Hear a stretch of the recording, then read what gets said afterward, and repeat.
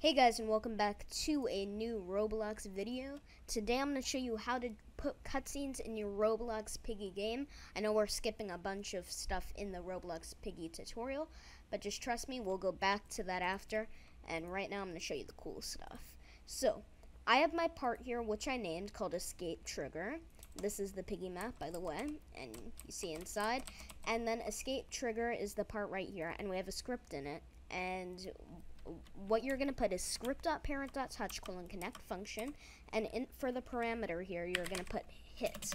Not not that put hit. The i and the o key are very close together. So what you're going to do is you're going to put that and uh sorry guys. One second. Let me get the script right here.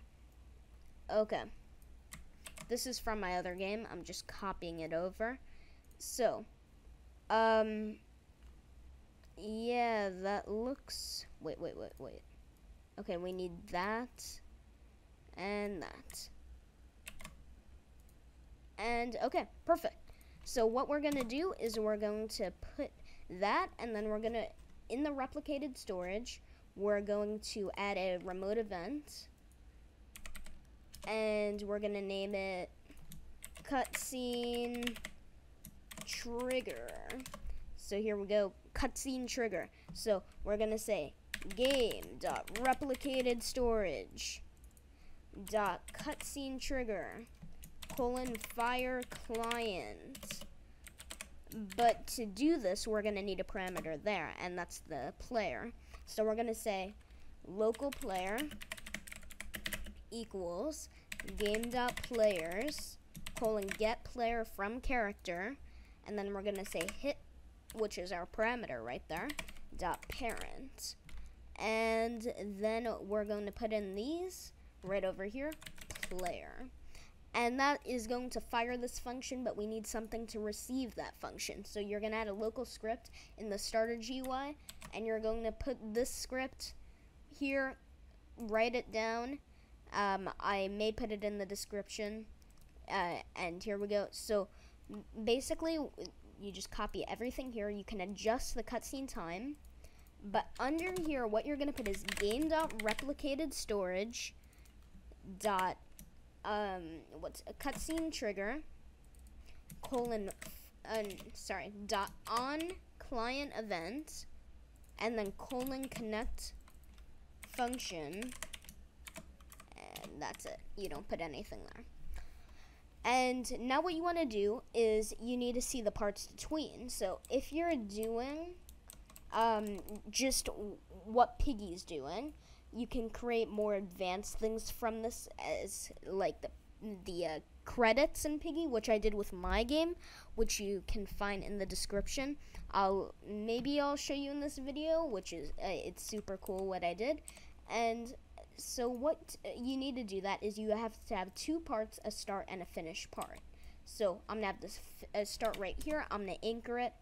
I'm gonna turn can collide off, uh, and yeah, that looks good. And I'm gonna call it start. Uh, hopefully there's no other parts named start. Yeah, we're good. And then I'm gonna name this other one finish and I'm going to move it all the way there. Or right over here. Or uh, yeah right there. Okay so what I'm gonna do now it's very easy. I'm gonna say tween which is this function right here and then part one part two part three. So we're gonna only use two parts here and I'm gonna say you don't even do, have to do game.workspace you can even do a deprecated function which is workspace dot um, start. So it's going to go from the start to comma works workspace dot finish. And this is going to be our cutscene right here. So if you want it to be a little longer, you can customize that there. But just copy all this and we are going to be good. Put that wh wherever you want your parts names to be and that looks good and let's test it out so right now what I'm gonna do is I'm gonna make this doors uh, can't collide false because I don't want to complete the whole map. I don't even think this map has all the scripts in it. So that's to be impossible to do. Let's just get through here. Oh. Uh, yeah, our piggy works. Yeah, it does work. Uh, so, you know, uh, let's just start this again. And let's move the piggy elsewhere. And I'm going to show you how to set a round-based system uh, with keys and stuff like that in the next tutorial. So what I'm going to do is I'm going to push play here. And then um, I'm going to go through the door. And here we go. The cutscene starts. Oh, I found an error. Um, yeah, so you know it does this and all, which is great. But what you want to do, it keeps hitting the part. So what you want to do after that is, let's just grab a position of a part right here. And this is so it doesn't keep triggering the function.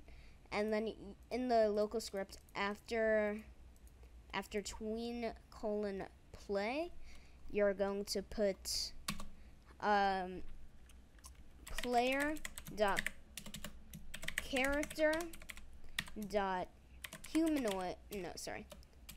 Dot hu yeah humanoid root part. Dot position sorry dot c frame equals c frame dot new and put that position in there. And this is gonna fix our error hopefully. Let's test this out. Let's push play right here. And hopefully this will fix our issue yep. And it looks like it has fixed it. No errors here and everything is good and hopefully it will end right after. And let's see the end part is right over here somewhere. And and boom. So it may take a second. Um oh we never set it back to custom okay so this is something you need to do too. So after we do that, we're going to say wait cutscene time, which is right here, wait, and then cutscene time, and then we're going to say game.workspace, I think work, yes, yeah, space, dot current camera, dot camera type, equals enum.scriptable. Uh, custom, actually. Okay, guys, so actually what you want to do is enum.cameratype.custom, and that's how you do that. And that should work, and I think that's it. See you guys in the next video. I may roll a clip right now of my game on how this works out in my game, but that's the script. I'll put it in the description. There we go. Peace. Okay, so this is my game, and this is how it works out in my game. So here we go. Uh, let me close out all of that. And here we go. All we're going to need is the command bar really quick. Game dot replicated storage dot end a boss uh, fight colon fire all clients. That is my event right there. Let's do that and close that. And you have to be on the server to do that? Yeah. And boom, and here we go. I remember Mr. P gave a potion that made a uh, that to Mrs. P, which he used on me. How could he? And here we go. After this, it will say something. Cyberwiz YT uh, said, "Please do not hurt, uh, do not hurt him. He can explain." And then you see I can spawn in right there, and I can show you how to do this on the next uh, tutorial. So here we go. I did not do this on purpose. Doggy threatened me to do this. Oh, shoot, I jump high. Oh, oh, nope, something glitched. Uh, yeah, that's not working properly. So if you step on her head, it's still from the boss fight, and it teleports you back there. He was there, he was always there. It's gonna teleport me anyway. I said, is it safe to walk up to him? And what I'm supposed to do is I'm supposed to walk up to Doggy, but it will teleport me th thereafter in case any bugs happen. So, um, here we go. I'm gonna spawn back, and then it teleports me right there. Uh, why are you doing this, doggy? Well, I guess if this is a memory, then you can't talk, because I want revenge. And there he goes. He plays an animation which I've created, and you die. And then some few other text speeches things, and then the credits, which I'll show you, which is more of camera uh, interpolation which I guess that would be the word of the day, and that's actually what we're doing today. So these are the credits. There's some music playing, but you guys can't hear right now. And uh, in a second, my camera will shift over there, and it will do that for all of them. So here we go. Let's shift the camera. Okay, here we go. And and then it's just giving all the credits. And then at the end, it says, thank you for playing my game. And yeah, that's pretty nice. So if you guys enjoyed this tutorial, please like and subscribe. It really does help. I'll see you guys in the next one. Peace.